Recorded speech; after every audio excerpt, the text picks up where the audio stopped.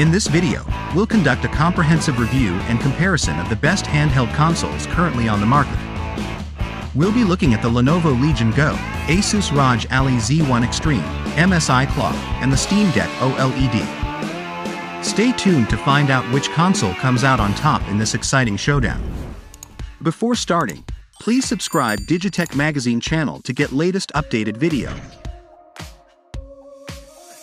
We start our review by comparing the processors of these consoles. Interestingly, MSI opted for an Intel processor for their console, which sets it apart from the others that use AMD processors. Notably, both Asus and Lenovo have used the same AMD processor, resulting in similar processing performance for their consoles. Benchmark comparisons reveal that the processing power of the Lenovo and Asus consoles is about 2% higher than that of the MSI console, a difference that's not particularly significant. However, the Steam Deck falls behind in this category, with processing power approximately 3.4 times less than its competitors. This stark difference highlights the need for a major update from Steam. Comparing the processing power of handheld consoles is challenging because their graphics processing power is integrated with the main processor. However, by examining similar GPUs and comparing 3DMark scores, we can derive some interesting insights. Among the reviewed consoles, the Lenovo has the strongest graphics processor with a 3DMark score of 4202, followed by the Asus with a score of 3595. The MSI, which was recently introduced to the market, scores 3077, placing it in third. This indicates it is about 30% weaker than its top competitors. Lastly, the Steam Deck scores 1202, showing it has roughly three times less performance than the others. It's important to note that these benchmarks are just part of the story. The real performance of these consoles will be seen when running games, which we'll discuss further. In terms of memory, the highest MSI model allows the use of 32GB, which creates a significant gap with other competitors, each of which will eventually have 16GB of RAM. However, it should be noted that by using a more developed RAMs, the Lenovo console has about 18% more transfer speed in its memory. In this section, we give the first place to Lenovo, the second place to MSI and the third place jointly to Steam and Asus consoles.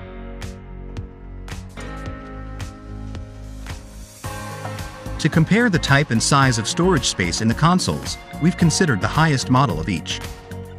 The Lenovo console leads the pack with a 1TB M2 SSD. Close behind, the MSI console also offers 1TB but with an older SSD model, securing the second place. The Asus console comes in third with 512GB of M2 SSD storage. Although the Steam Deck OLED now offers up to 1TB of storage, its slower transfer speed places it last in this comparison.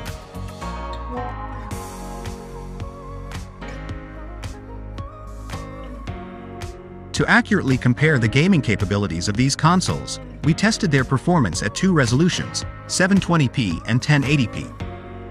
For this benchmark, we used the most powerful processing mode of each console without any power limitations. In Resident Evil 4, the MSI console delivers the best performance, averaging 59 frames per second. The Lenovo and Asus consoles follow closely, both averaging 57, while the Steam Deck averages 45. However, when we examine the minimum FPS, the results differ significantly. The Asus console leads with a more stable performance of 38 frames per second, followed by the Steam Deck at 27. The Lenovo and MSI consoles show a significant drop, with minimum frame rates of 17 and 15, respectively, highlighting their variable performance in playing Resident Evil 4. In Cyberpunk 2077, the Asus console performs best with an average of 59 FPS, followed by the Lenovo console at 54. The Steam Deck takes third place with 42, while the MSI console falls to the bottom with a dramatic 30 frame per second. However, the Steam Deck shows better stability with a minimum frame rate of 34. Notably, the MSI console's minimum frame rate of 3 highlights its fluctuating performance. In Formula 1, the Asus and Lenovo consoles shine with average frame rates of 117 and 109, respectively. The MSI and Steam Deck consoles perform similarly, both averaging 84 frame per second. When it comes to minimum frame rates, the Steam Deck leads with 51, outperforming the others. In contrast, the Asus and Lenovo consoles experience significant drops to 19, while the MSI console maintains a relatively acceptable 31 FPS. In Red Dead Redemption 2, the Asus and Lenovo consoles perform similarly, running the game at an average frame rate of 65. The MSI console follows closely with a rate of 62 FPS, while the Steam Deck lags behind at 52.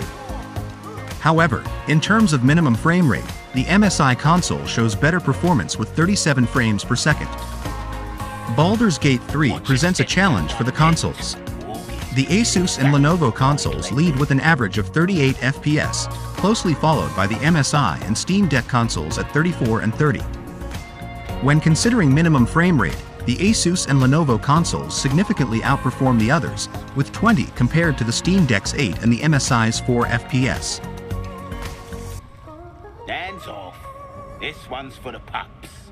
In Dying Light 2, the Asus console takes the lead with 56 frames per second, while the Lenovo and MSI consoles perform similarly at 49.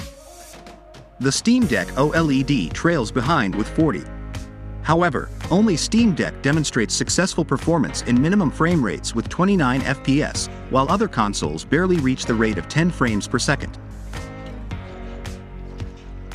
For a summary of console performance in 720p resolution, considering both average and minimum frame rates, the Asus console emerges as the top performer. Following closely, the Steam Deck demonstrates low volatility, securing the second position. The Lenovo console takes third place, while MSI's performance falls short, resulting in a disappointing fourth place ranking. Due to the Steam Deck's lack of support for 1080p resolution, we'll focus on the performance of the other three consoles at this resolution. In Resident Evil 4, all three consoles demonstrate relatively similar performance in both average and minimum frame rates, with Asus showing slightly better performance. In Cyberpunk 2077, the Asus console takes the lead with a 10% higher frame rate than the Lenovo console. This performance difference is even more pronounced in minimum frame rates, highlighting Asus superiority. However, the MSI console continues to disappoint in performance. In Red Dead Redemption 2, all three consoles perform similarly, providing a decent gameplay experience. In Dying Light 2, all three consoles deliver 36 frames per second. However, the minimum frame rates on all consoles are below 10, making gameplay challenging in some cases. In summary, across the reviewed games in 1080p resolution, the Asus console generally outperforms the Lenovo console, with the MSI console trailing behind.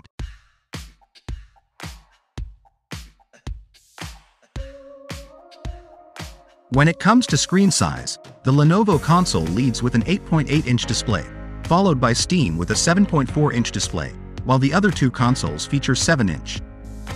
In terms of resolution, Lenovo's console boasts the highest resolution at 2560 by 1600, followed by Asus and MSI consoles at 1920 by 1080, and finally, Steam Deck at 1280 by 800. The screen frequency of the Lenovo console is the highest at 144 Hz, while Steam Deck has the lowest at 90 Hz. In terms of brightness, Steam's console offers superior clarity with 600 nits compared to the 500 nits of other competitors. At first glance, the Lenovo console appears to have a superior display, which indeed it does. However, it's essential to consider that some features of these screens may go unused or even have negative effects. Utilizing a higher resolution on the Lenovo console screen not only reduces the console's battery life but also limits gameplay due to lower frame rates. In practical terms, many mainstream games may require reducing the resolution to 1080p or even 720p for optimal performance. Therefore, in terms of display screens, the MSI and Asus consoles offer more practical features. Additionally, if the Steam Deck could support 1080p resolution, it would undoubtedly be in its most optimal state. When purchasing handheld consoles, the charging capacity is a crucial consideration for many consumers. To provide an accurate comparison, we tested the Resident Evil 4 game in normal graphics mode with 720p resolution on these consoles. In our tests, the Steam Deck had the highest charging rate, lasting for 138 minutes. Following closely, the MSI console secured second place with 114 minutes of gameplay. The Asus console ranked third with 90 minutes, while the Lenovo console trailed behind with 84 minutes. It's important to note that the Steam Deck's lower screen frequency and weaker hardware contributed to its higher ranking in this comparison. Conversely, the higher screen frequency and larger size of the Lenovo console led to its lower ranking. When it comes to dimensions, it's evident that the Steam Deck and Lenovo consoles are larger than the Asus and MSI consoles. However, what can truly influence the choice of a console is its design and weight. In terms of design, preferences may vary among users, but generally, the Steam and MSI consoles are considered to have better designed handheld consoles, while the Lenovo and Asus consoles rank slightly lower in this aspect. Regarding weight, the Asus console is the lightest, weighing in at 608 grams, followed closely by the Steam Deck at 640 grams and the MSI console at 675 grams. In contrast, the Lenovo console, weighing 853 grams, significantly deviates from the typical expectations of a handheld console in terms of weight. In terms of controller design, preferences may vary among users, but generally, the Steam and MSI consoles are considered to have better designed handheld consoles, while the Lenovo and Asus consoles rank slightly lower in this aspect. However, it should be mentioned here the different design of Lenovo, which, like the Nintendo Switch, has provided the ability to separate the game joysticks from the monitor.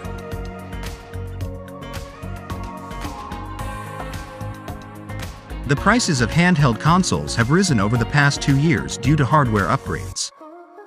The MSI consoles, with an official price of $800, and Lenovo, priced at $750, are currently the most expensive options on the market.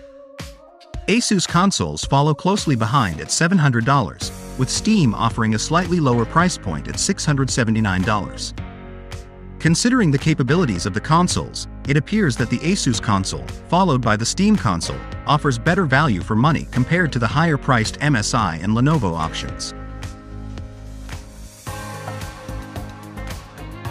The arrival of the Steam Deck and Asus consoles injected fresh energy into the handheld console market.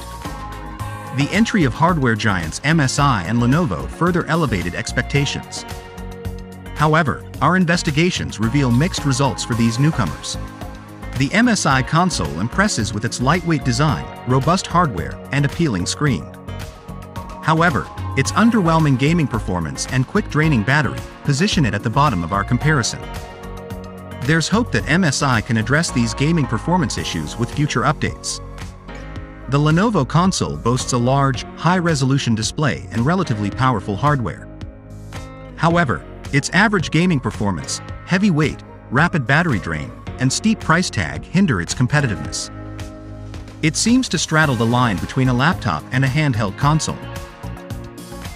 Despite minimal changes, the Steam Deck OLED offers acceptable performance with a suitable design, reliable charging capabilities, lightweight construction, and reasonable pricing. However, its average hardware limits gaming to below 1080p resolution. Steam will need hardware upgrades for future iterations to maintain its market presence. Even a year since its release, the Asus ROG Ally console remains a standout performer.